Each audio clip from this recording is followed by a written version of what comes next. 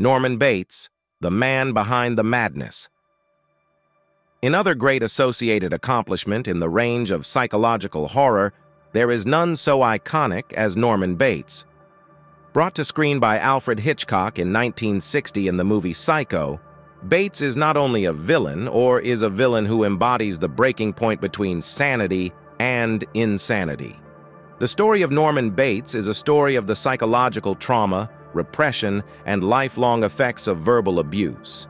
His life surrounded by overbearing mother and suffocating loneliness becomes one of the symbolical works of psychotrauma on the movie screen. Norman Bates at the beginning of the movie looks like a sweet and innocent man who wouldn't harm a fly. A timid, meek man who owns a small motel that he has set in a remote area. But beneath his polite exterior lies a tortured soul, tormented by the ghosts of his past, especially one ghost, his mother, Norma Bates, and in the same manner scream into her face. In fact, their friendship was worse than close. They had become too clingy. Norma was a very possessive woman and was in love with Norman. She controlled his life in all aspects. He was disconnected from society by her, setting the stage for dependence and guilt to rage and evolve into something much worse.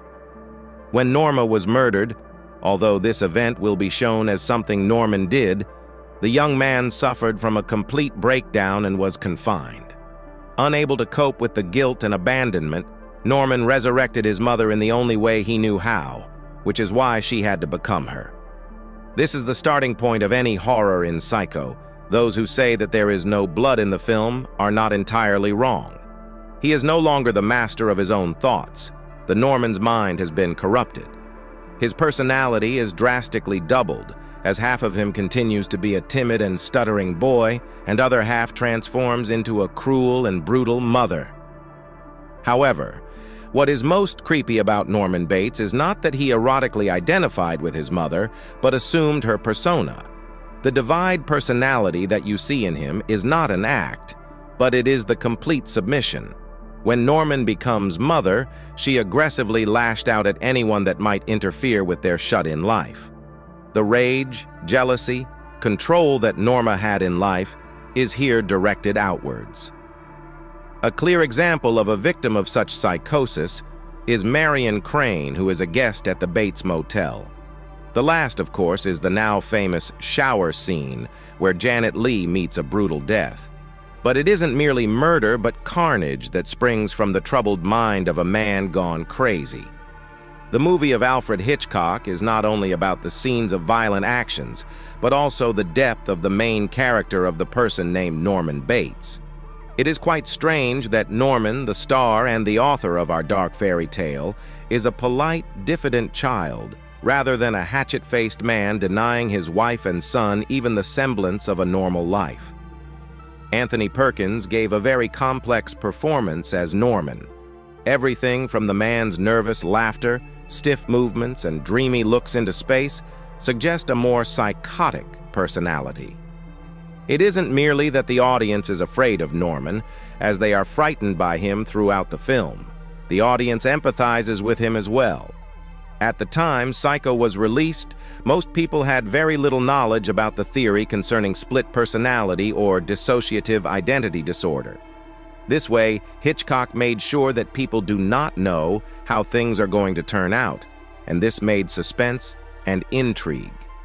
Situating Norman's change into Mother, it is not only a twist of the plot to the viewers, it is a revelation of the instability of human mind. In this way, Hitchcock must have been exploiting these psychological aspects, because Psycho is not merely a B thriller, it is a philosophical study of psychoses and repression and the black deed of an omnipotent mother figure. Norman Bates is a quintessence of psychological aspect of the repressed unconsciousness. His incapability of dealing with the psychological pressure of his mother, as well as the guilt for her death and desire of freedom, lead him to the state of insanity. What Hitchcock does to portray this decent is ingenious and smooth. Throughout the movie, Norman is depicted as rather calm, and the suspense that is created by the setup of the Bates Motel is spine-chilling. Each look, each trembling muscle turn into the foreshadowing of the awful things that are hidden behind the ordinary life. The last scene of Psycho is one of most famous sequences in the movie history.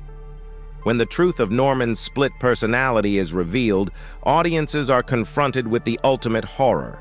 Norman Bates is mother. The analyses of the death of his mother reflect that Norman has been entirely driven by her death. At the very end, Norman, who is totally possessed by Mother, turns to the camera and gives a smile, which brings a message that much to our dismay. Everybody is capable of becoming a psycho. The character of Norman Bates can be considered as one of the major influences in shaping the further development of popular culture and horror genre in particular.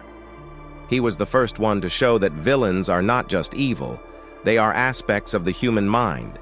And when one delves into the psyche of a man who experienced terrible abuse, this is what you get.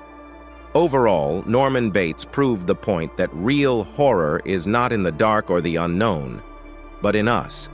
If Psycho is simple a horror movie, then everyone is wrong, and it is much more than that.